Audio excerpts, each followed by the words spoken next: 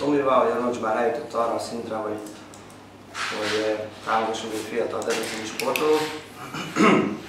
Mi mind a ketten lokálpatrióták vagyunk, Debrecen az otthonunk, de fontosnak éreztük, hogy valamilyen formában szeretett vállalni Debrecen város sport életében.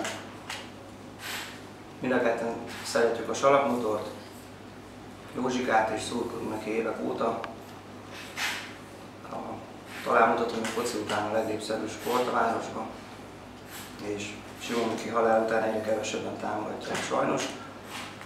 Ezért úgy döntöttünk a Józsikát egy hosszú távon szponzoráljuk egy nagyobb összeggel, bízva sikeres folytatásban.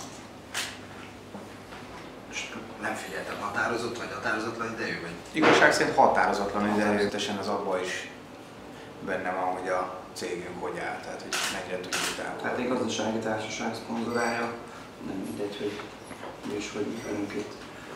Úgy, hogy tessék jó sokat inni. Megnyilvánulását a Józsinak, ne csak Bukós is akon kívül, hanem belül is megismerjék.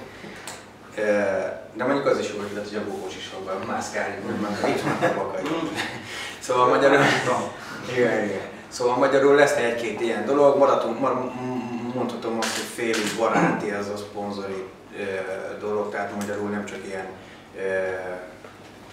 gondolatjeles, erős keretekben szabott szponzori szerződés, hanem, hanem folyamatosan évek, évközben gondolkozunk, hogy mit lehet ebből kihozni.